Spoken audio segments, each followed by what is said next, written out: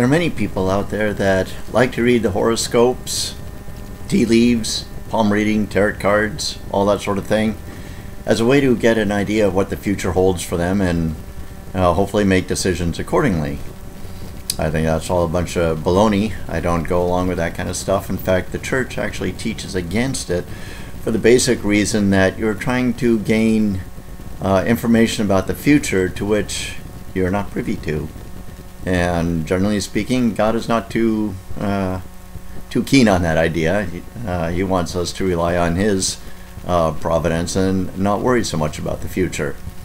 Anyhow, what I like to do is instead of reading tea leaves, is I like to read the chips that my machines are producing and uh, what's happening at the cutting edge. And I got a few samples here. I'm going to show you. I've got one here. This one here, rather long and lanky chip there. It starts out very silvery gray here, proceeds to kind of a straw colored, and as the cutting process goes, no, notice that it's one continuous ribbon of a chip here. In fact, that's what I like to call these, ribbon chips. It eventually turns to a brown color, and I don't know how well that's showing up. Turns brown, and it goes to purple, and somewhere along the way here, oh, we're still in the brown and purple stage here. Uh, here we go. Uh, the chips eventually progress to uh, light blue. This tells us a lot about what's happening at the cutting edge because metal by itself is generally, uh, when it's uh, fresh made and fresh cut, is a silvery gray color. And as it heats up, it oxidizes, turns to a, a straw color, then a brown, progresses to a purple, and eventually reaches a blue stage. All of these give us an idea of the temperature that the metal is uh, experiencing right there at the cutting edge. Light straw will be about 400 degrees, brown about 500 degrees, purple 540, so it's a little hotter, until it gets to light blue, uh, 640 uh, degrees Fahrenheit. If you keep pushing it, your metal will eventually begin to glow and I've had that happen on me too. It begins to glow a, a deep uh, orange, uh, dark reddish color, and eventually gets lighter if your tool gets really dull and you're really pushing it hard, and uh, such as that. Uh, even to the point where if you're not careful, sometimes in some situations it'll actually catch fire, and how that can be an experience. You don't want that to happen too often. Um, but I like to record uh, chips, and I, I, actually have a chip collection. I sound a little strange in that way, I suppose, but I like to have a chip collection going because this tells me uh, something about what's happening at the cutting edge and how my operations are going, and it gives me an idea of uh, what to what I can learn from it in the future. Um, this ribbon chip happens to be a good example of the cutting edge there. The shiny edge is coming off the tool itself, whereas on the other side that's where the chip crunches up on itself. Now you notice I handle these things pretty carelessly. It's actually not as careless as it looks. I've handled chips for 45 years and uh, you do get cut occasionally, but you learn how to respect them and how to handle them rightly so that you do not get cut.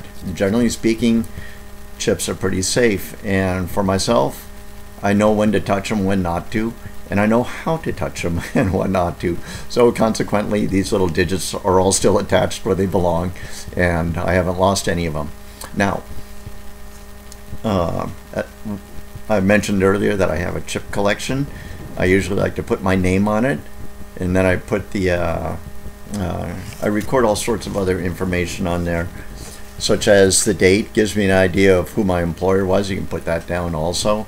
And I'll put the job number and operation, you know, if it's a milling operation, a turning operation, a threading operation, a drilling operation, whatever kind of operation it is, I'll put that on there. And of course, what kind of material I'm cutting, because the material makes a big difference. Steels generally look as what I just showed you there, but it can also look a bit different. Right here I have a chip that happens to be made out of 316 stainless, and if I can get the light to shine on that right, it retains much of its silvery color, but there towards the center it turns an interesting uh, kind of rose purple color. And that's because it's a, a stainless steel, so it's not going to oxidize quite the same. Uh, you get different color patterns out of uh, different sorts of steels. Um, okay, so I've got the operation. I also like to include the tool. If it's a high-speed steel tool, if it's a drill, if it's carbide, uh, cobalt high-speed steel, or whatever it is, I like to record the tool that I'm using, including its geometry, because that has a uh, that's a big factor in how the chips are formed and what's happening at the cutting edge. I'll also record my revolutions per minute, RPM, or more accurately, and generally a better uh, thing to record is your surface feet per minute, uh, SFPM. I also like to write down my depth of cut, DOC for short. I like to know how deep I'm going. And then uh, I include uh, inches per revolution if it's being done on a lathe, uh, or perhaps a drill press, or my uh, inches per minute if it's a mill operation things are measured differently. You can uh, uh, calculate things out either way, depending. A lot of times our machines will tell us what we're running at. And then, of course, I like to include any coolant or lubricants uh, that I'm using because that makes a big difference on your tool life, the quality of the product that you're making, and how the chips come out. So while everyone's reading their horoscopes and tea leaves and what have you, uh, I like to just look at the chips understand them, learn about them, figure out what's going on, and move on from there. Incidentally, that reminds me of something. I'm always curious about how these other ideas work out. If you're into horoscopes, I would challenge you to take horoscopes from, well, someone here in the United States, someone over there in Europe, get one from China, get another uh, uh, source from Peru or somewhere in South America and see how well they all agree. And I don't think they will. With tea leaves, I don't know anything about reading tea leaves, but take all your tea leaves and, you know, put the water on the saucer and drop them on there or whatever, and then take a picture of it. And then do that, you know, again with another uh, dish, uh, another uh, supply of water, and additional leaves. And do that again five six seven a dozen times. And see how often that comes out you know showing all the same thing that this is what you should do uh, today or tomorrow with the rest of your life or what have you.